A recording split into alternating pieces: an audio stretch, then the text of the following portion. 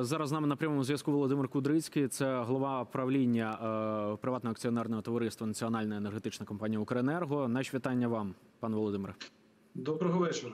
Логічно, що з того, про з чого ми почали, я з вами хочу почати відповідно. Е, Ось цей ця допомога потенційна, якщо вона нам знадобиться, а ми на неї можемо розраховувати, зважаючи на особливості нашої енергосистеми, тільки в певних регіонах нашої країни. Чи як це буде відбуватися? Ось це рятівне коло, якщо воно нам у випадку форс-мажорів і надзвичайних ситуацій таки знадобиться.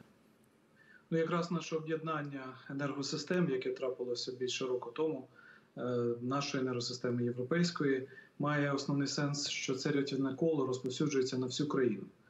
Е, Тобто, якщо буде така потреба, ми зможемо доставити електроенергію з Європи до практично кожного споживача в Україні. Мережа наразі це дозволяє, і це означає для нас, що у нас з'явився додатковий такий пасок безпеки або буфер безпеки.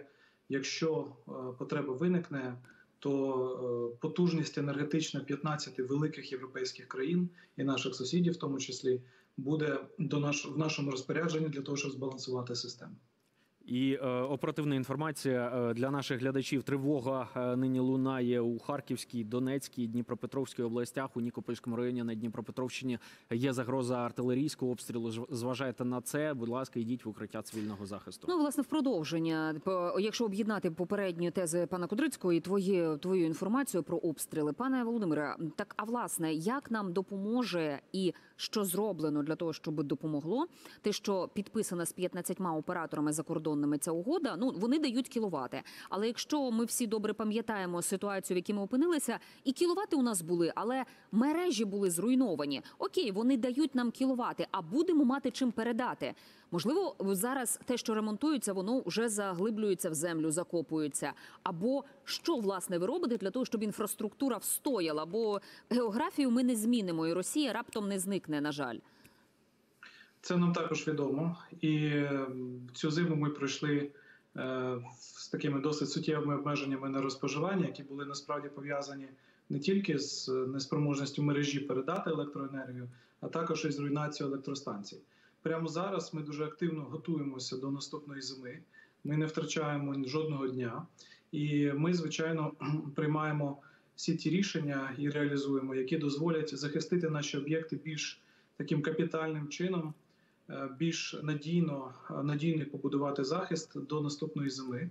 І тут ми співпрацюємо, і ми дуже вдячні агентству з відновлення та розвитку, з яким ми співпрацюємо в цьому проєкті, щоб захистити е, як магістральну інфраструктуру, так і в принципі критично важливі енергооб'єкти нашої країни.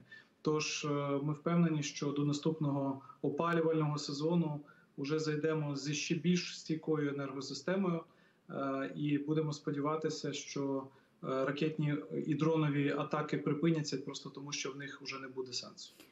Е, якщо можете, поточніть, що змінюється. Ну очевидно, що ну, ваші колеги, і ви здається, казали, що хорошим виходом є закопувати лінії в землю. Будуть закопувати? Йшла мова не про лінії, а про підстанції, тому що лінії не були таким об'єктом атак, їх досить швидко можна відновити.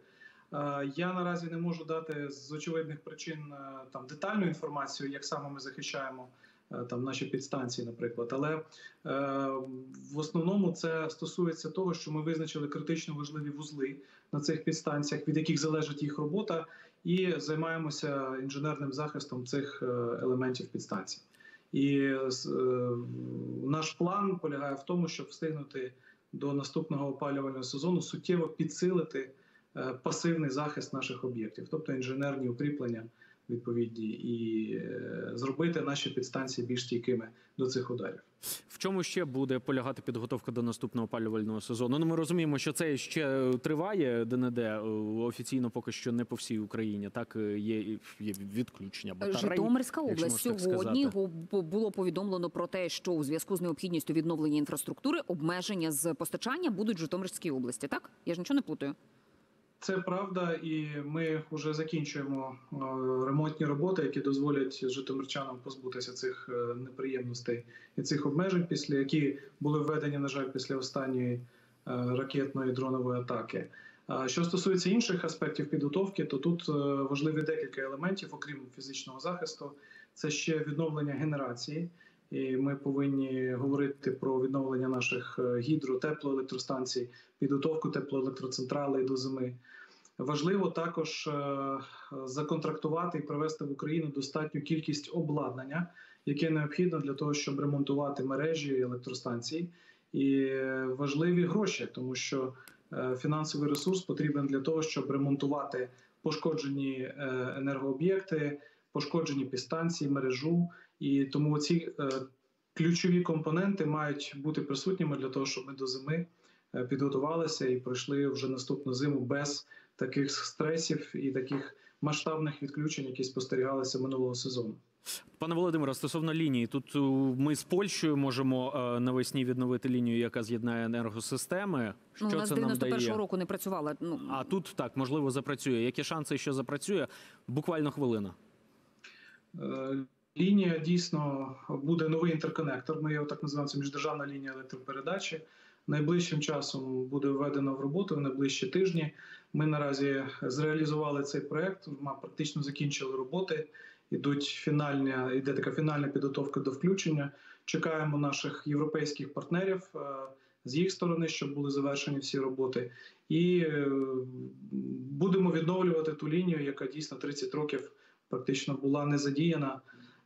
Це важливо, тому що один з основних наших пріоритетів це імпорт і експорт електроенергії з Європи і в Європу. Це дає нам теж певну стійкість нашій енергосистемі. Тому, звичайно, це наш пріоритет. Дуже важливий стратегічний проект. дякуємо. Володимир Кудрицький Спасибі. був з нами. Це голова правління національної енергетичної компанії Укренерго.